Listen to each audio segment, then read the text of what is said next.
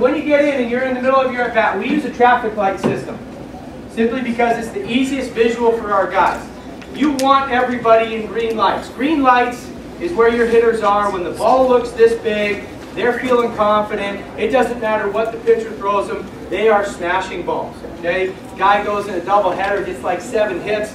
Man, Johnny, great game. Well, what were you thinking? Nothing, right? Then he goes 0 for 8 with 7 Ks. What happened? Well, you know, my mechanics, I was getting my arm out. You know, he starts talking mechanical thought. So green light thought is no mechanics, autopilot, the trusting mode.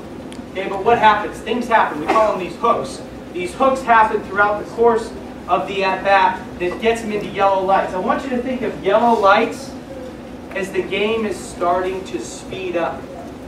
A lot of times, 14 to 18 year olds, 18 to 22 year olds, they can't handle a bad call by the umpire.